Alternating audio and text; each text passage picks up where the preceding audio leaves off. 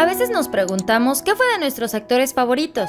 En esta ocasión te traigo qué fue de David Ostronsky y Osvaldo Ríos. Bienvenidos una vez más a Periódico Viral. Suscríbete y forma parte de nuestra comunidad de más de 800.000 suscriptores, que día a día se enteran de lo último que pasa en el mundo de la farándula.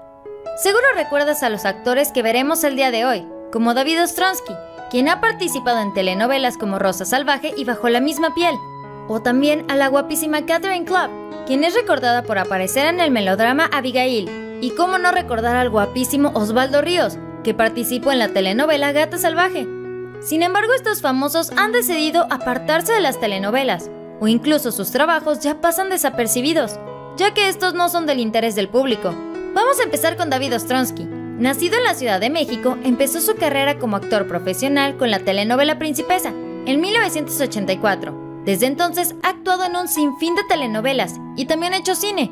Algunas de las telenovelas en las que ha participado son Rosa Salvaje, Carrusel, Agujetas de color de rosa, La antorcha encendida, Sin pecado concebido, Bajo la misma piel y Alborada. En cine ha actuado en las cintas Triste Recuerdo, como Agua para Chocolate y La Segunda Noche.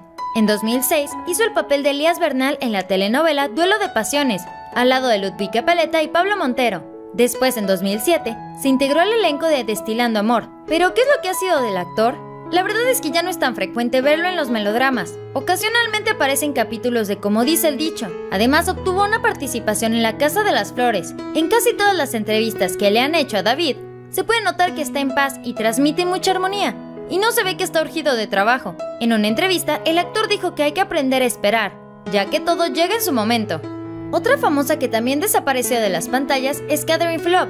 Ella nació en Caracas, Venezuela, el 11 de marzo de 1965. Entre sus primeras telenovelas se encuentra Mi amada Beatriz, La muchacha del circo, Abigail, Pasionaria, y en 1992 participó como protagonista junto a Carlos Mata en la telenovela Déjate querer. De igual manera, ella ha participado en varios concursos de belleza. Actualmente trabaja en radio y televisión en Argentina. Otro actor del que se sabe poco es Osvaldo Ríos, que es un reconocido actor de telenovelas en Latinoamérica.